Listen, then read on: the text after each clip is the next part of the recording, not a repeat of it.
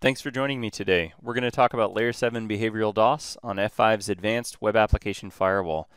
This solution is really cool because what it's doing is dynamically building a signature as it's needed to mitigate DOS attacks. So the first thing that it does is it baselines what does normal traffic look like, and that's not just the volume of traffic, but that's different factors about the traffic, like maybe how many headers are normal and what headers are normal, just as a couple of examples. So it's going to figure out what's normal and it's going to figure out what normal stress on the server looks like, what is typical response times and latency and things like that. When it detects that there's stress on the server, it's going to start mitigating that stress by rate limiting the traffic, and then identifying the anomalous traffic based on its prior knowledge about what's normal, and then build a dynamic signature to stop that traffic. It'll begin by rate limiting, and then we can even move forward to blocking it entirely, as well as moving that into IP-based blocking by identifying them as bad actors. So we're going to jump in now and see how that's configured. Okay, what you can see here is a web application deployed behind an F5 big IP.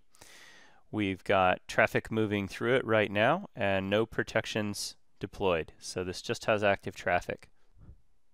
We're going to go ahead and deploy behavioral DOS. So we'll come down here to DOS protection, DOS profiles.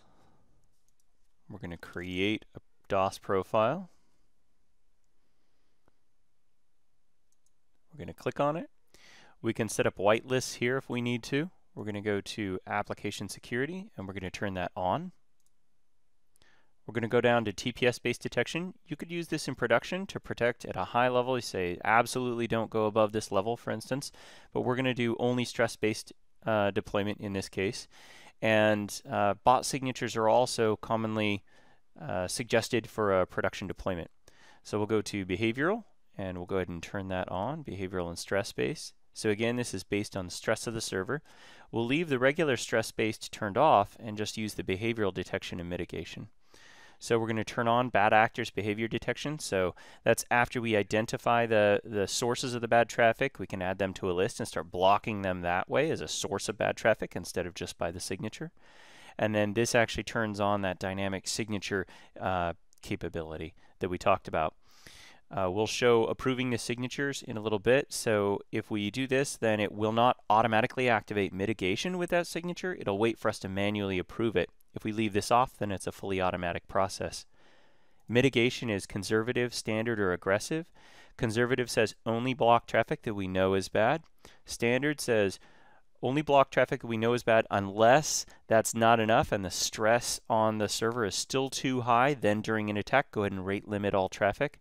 And aggressive says always rate limit if we need to to keep the server health in, in a good position. So usually you want to go with standard protection.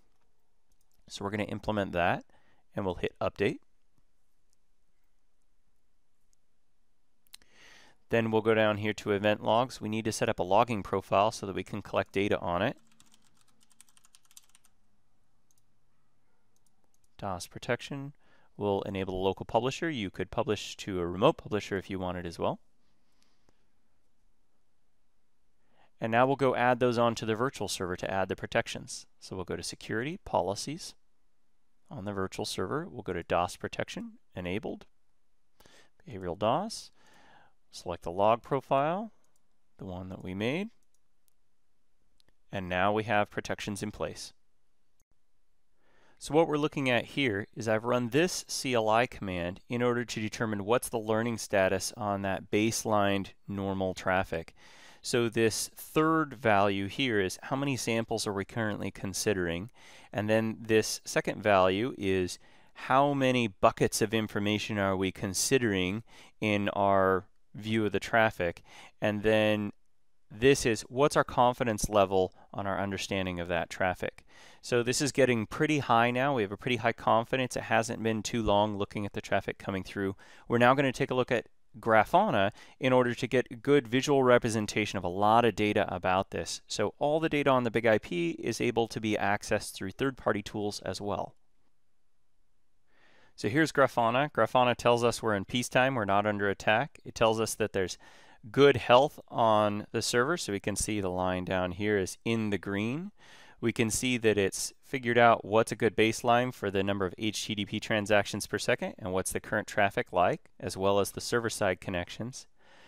Up here, flashing, we've got the threshold learning at 92%, so that's really good, on 15,600 samples. So it's about time to launch an attack and see how it responds. Down here will be the mitigations. So we can see we've just launched an attack. Grafana shows us that it's identified it's under attack. Again, this is data coming directly from the big IP. We can see that there's a huge spike in HTTP transactions per second and a big spike in server-side connections on the backside of the big IP. The health of the server has gotten much, much worse, and we can see it's here in the red. But now it's beginning to improve. We can see that the server queue, this is, you know, how long are we waiting? Uh, here we've got the concurrent server-side connections have dropped down. So why is that? What's going on here? We can see that we've got mitigations going on.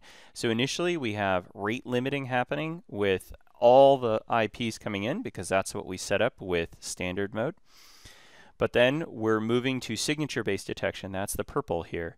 And soon we'll move to bad actor rate limiting. So we'll be blocking them based on identifying that they're bad actors. And we could even take it to the next step and do full layer 3 blocking of the IP address instead of just rate limiting of that IP address. If we look at these identifiers, we can see this is when the attack started. This is when we've got a stable signature developed. So that's those dynamic signatures based on a number of values. So we can see here are some of the values that we're looking at. Okay, so we can see that a couple seconds later now, we're actually beginning to block by bad actor IP. So you can see that the method of blocking the traffic has changed. So we no longer are in need of the signature. We can see that we're blocking all of it by bad actor IP. We've identified all of them.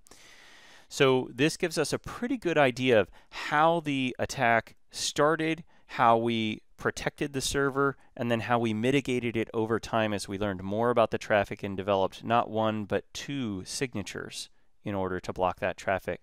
So let's take a look at what one of those signatures looks like and what the visibility looks like on the big IP now. So here we can see that we've got a DOS attack. It's shown on the graph here in the big IP. We can go to the DOS summary and we can load the DOS visibility dashboard. So we'll see here that we've got an attack detected and we could start drilling into that one. And you can see here that when we select something on the right hand side what it does is it immediately drills down and narrows what's in the display part of the screen to only that data. So we could say well let's narrow it and only look at this virtual server the web app. It already was in this case because we only had one we could open up the mitigations and we could say what kind of mitigations are being done. We can see it's all behavioral mit mitigations. Where's the traffic coming from? All over. So we can get a lot of good data here and we can drill into it to see exactly what does the attack look like, when did it start and stop, and what did we do about it. Next, we might want to look at the bad actor IP detection. So here we can see a list of the IP addresses that we're rate limiting, and we're rate limiting 80% of their traffic away. So we're only allowing a small chunk through. We can see the timeout on that. So when that gets down to zero, we'll see are they still a bad actor, and if so, we'll continue blocking them as they near that, and we'll reset it. Next, during an attack, we might want to look at what does that signature actually look like. So here's one of the signatures. We can see that here are the different values that we've identified are anomalous about this particular value. For instance, the HTTP referrer hashes are 51, are 51, the headers count is 11, and so on. So when all of these are true, we know that this is bad traffic. So we can look over here we can get some data on this and we can decide whether it's approved or not. Again, we're set up in automatic mode, so we don't need it to be approved. But we could also check the box and we could make it persistent. And that would move it down here to the bottom, which would enable us to use this later on if we wanted to keep it and not just make it a dynamic one. We could also make this a shareable one, which we, would mean that if there were multiple virtual servers, this could be used across them instead of only on the one. And last, we can create our own persistent signature by adding one here and building it. So we're going to end back here at Grafana. We're going to take a look. We're still under attack. We have a good health score here. And down here you can see that we're, we had to adjust from blocking by bad actors to blocking by signatures again and develop more signatures and then begin blocking those new bad actors. As the attack changed, so did the defenses. You can see that we had a spike in the server queue, but the server health is still good. We're still responding properly to requests. So the user experience is still what we expect. So this is going to dynamically change with the attack, hands off without us touching.